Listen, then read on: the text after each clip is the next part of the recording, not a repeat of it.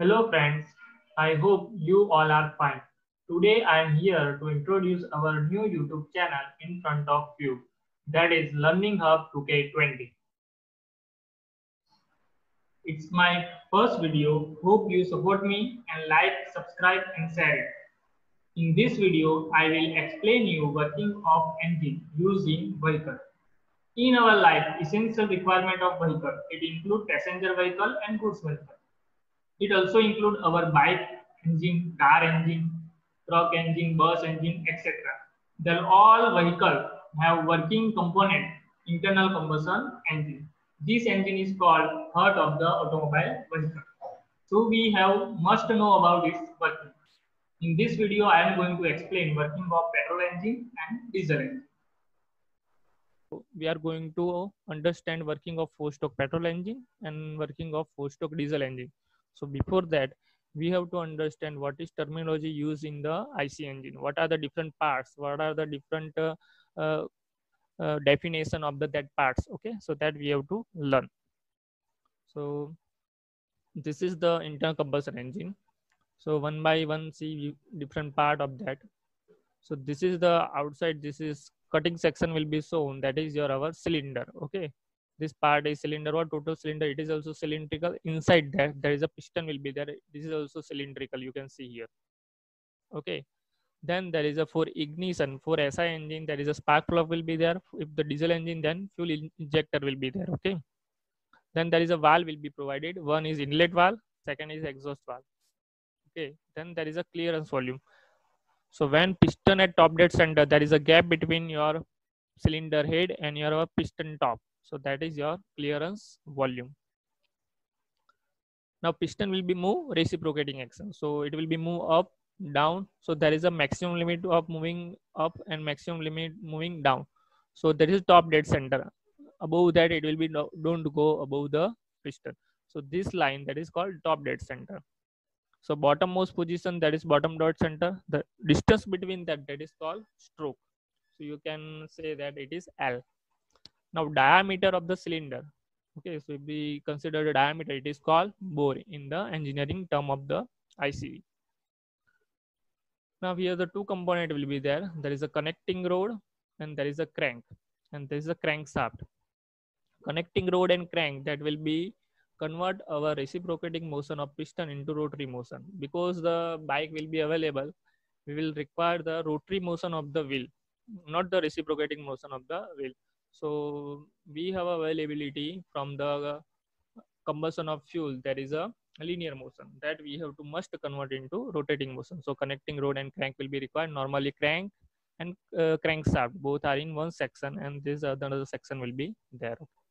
Working of four stroke petrol engine. In our uh, actual bike how will be putted? Okay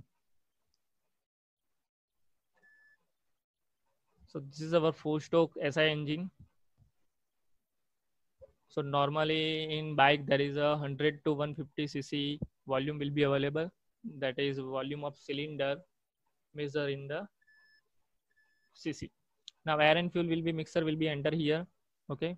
Piston will be moving top to dot bottom. Here the cam mechanism will be provided. So valve will be act acting.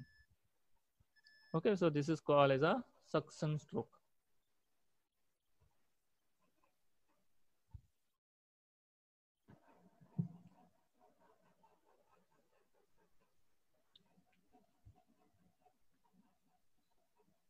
Now second stroke that is uh, we have understand that is a compression stroke. So piston will be moving bottom to top dead center. So during that stroke, piston will be moved from bottom dead center to top dead center. So air and fuel get compressed.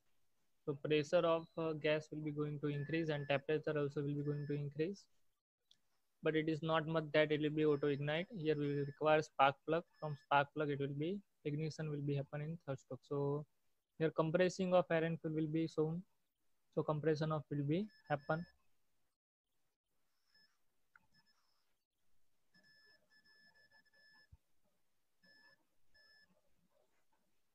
So compression take place after this is third stroke. Now it will be moving piston from top dead center to bottom dead center because high pressure and temperature will be created inside cylinder here. So it will be force out piston top dead center to bottom dead center. So this is called working stroke or power stroke because we are getting the power from the engine or work from the engine.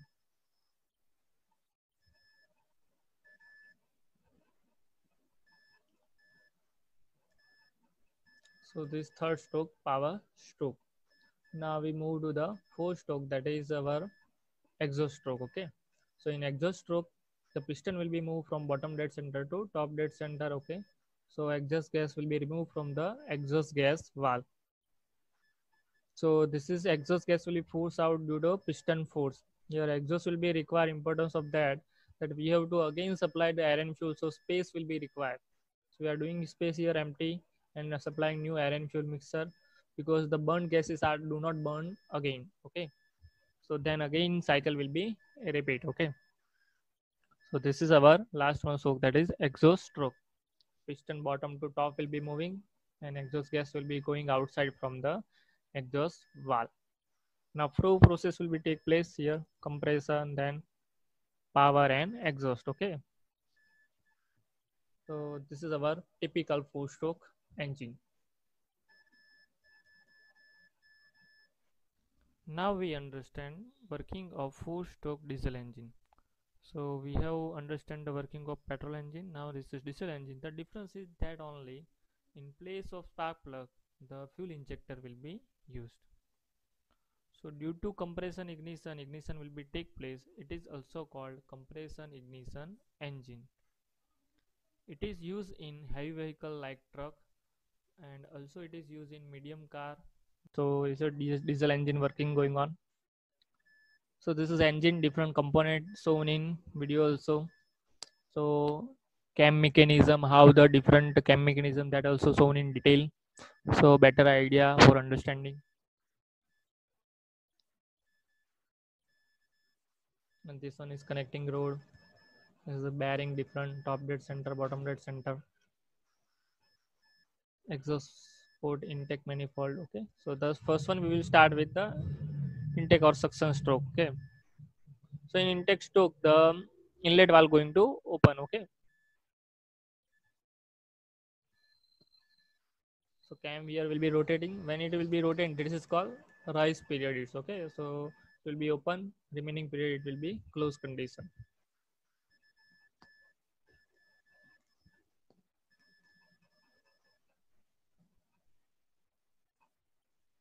So piston will be moving downward. It will be create the vacuum.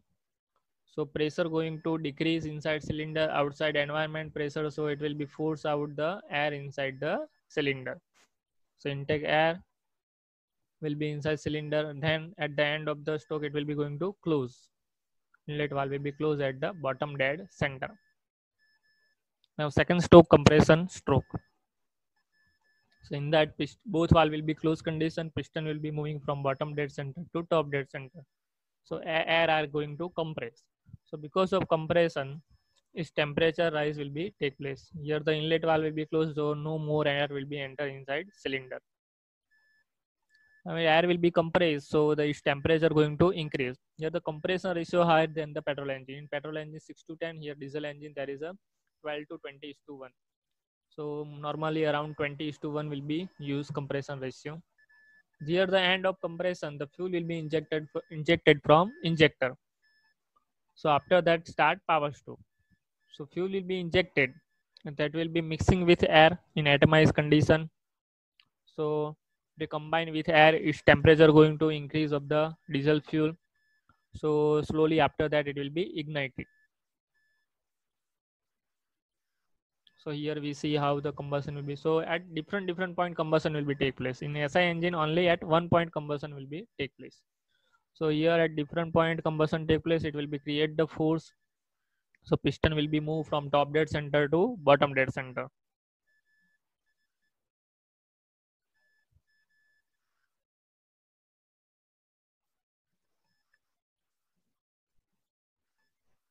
So this is energy that connecting rod will be moving. So rotate the crankshaft, it will be rotate your the it is supplied to the wheel and wheel will be rotated of the bike. Now last one stroke, exhaust stroke. So burn gases inside cylinder will be there. Now we have taken one advantage that work we are created that we are utilized. So now these exhaust gases are not required for us. It contains CO2, CO, NOx, SC and SOx. Now this gas will be removed by the pushing of piston. So from exhaust valve, it will be go outside where there is a silencer will be provided then it will going from that into environment. So here you can see piston pushes the exhaust gases outside the cylinder. So at next stroke, new air and fuel will be entered.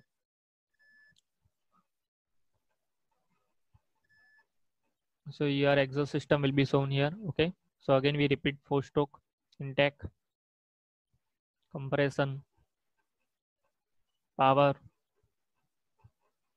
and exhaust. So thank you for watching and listening.